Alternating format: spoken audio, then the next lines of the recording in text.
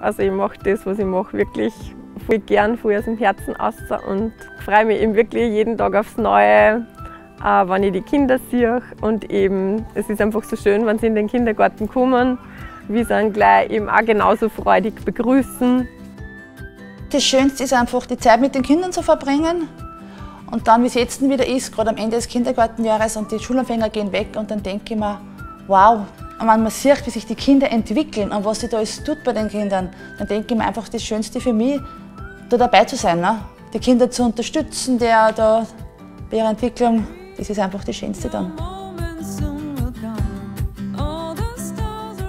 Ich denke einfach mehr Wertschätzung.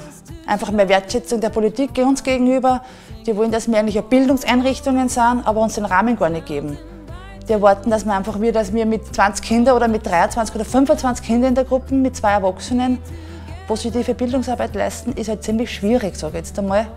Und da sind einfach viele Junge oder viele Kolleginnen oft dann überfordert. Ne? Also meine Kolleginnen und Kollegen in den Kinderbildungseinrichtungen, also da würde ich sagen, da ist so ziemlich die Luft heraus.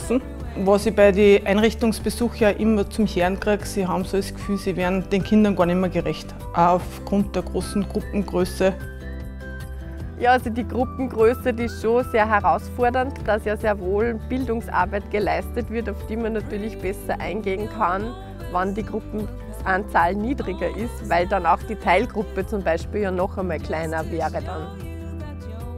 Um Männer zu überzeugen, in den Job zu gehen, muss man, glaube ich, vor allem an der Gehaltsschrauben und aber auch die Möglichkeit äh, bieten, dass man sich weiter qualifizieren kann. Also dass man nicht Helfer bleibt, sondern dass man einmal Pädagoge werden kann und da vielleicht neue Ausbildungsformen findet, das man, was man Beruf, richtig berufsbegleitend machen kann, wo man aber trotzdem verdient. Ja.